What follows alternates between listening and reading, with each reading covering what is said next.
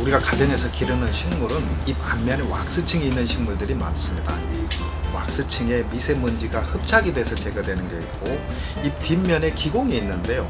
이 기공 사이즈가 상당히 큽니다. 그래서 이 기공을 통해서 흡수돼서 제거되는 게 있습니다.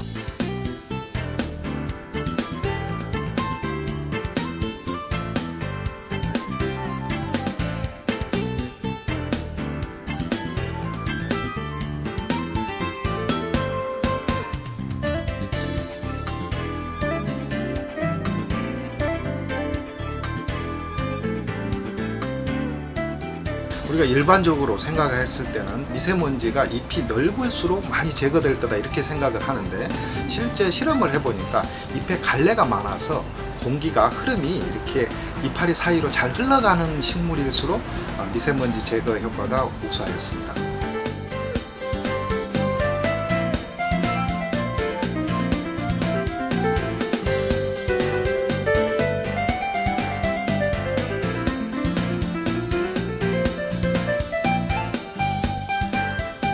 우리가 거실 넓이를 20제곱미터 정도로 봤을 때 3.3제곱미터당 한 개.